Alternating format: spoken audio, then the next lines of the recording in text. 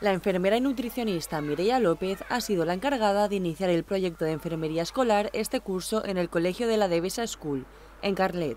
Su labor educativa en salud abarca servicios como la atención de curas, dispensación de medicamentos, control de alérgenos, dietas especiales y formaciones.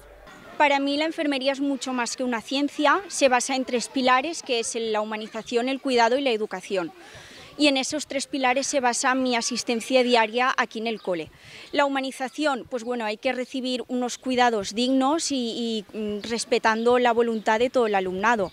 Un cuidado inmediato, siempre, y luego la educación, que me parece una parte fundamental de la enfermería.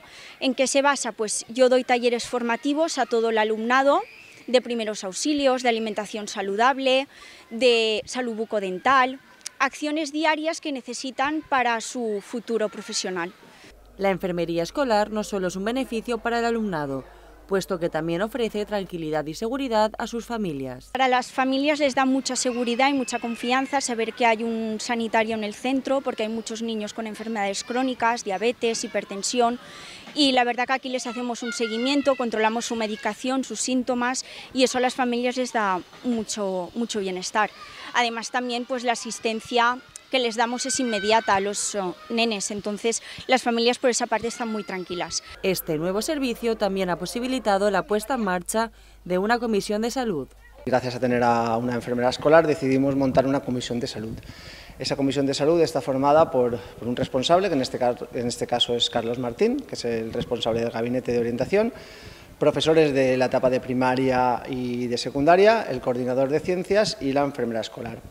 Básicamente el proyecto de la Comisión de Salud lo que, lo que intentaba era aglutinar un poco todos aquellos proyectos que teníamos un poco deslavazados relacionados con, con la salud escolar y darle un poco de cuerpo y un poco de, seguimiento.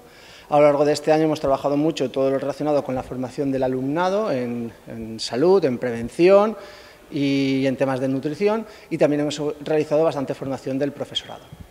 Una formación centrada en los primeros auxilios.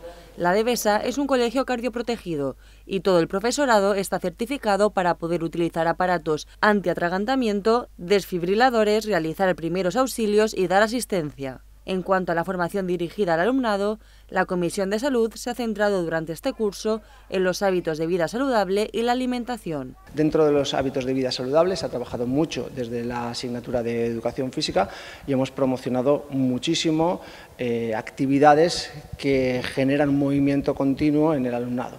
Por otro lado, eh, dentro de lo relacionado con eh, una nutrición sana, pues eh, evidentemente eh, un papel importante del colegio está centrado con la dieta, ya que los nanos comen con nosotros, pero además de eso hemos trabajado muchísimo el que sean conscientes de lo que ingieren y de la importancia de esa alimentación correcta.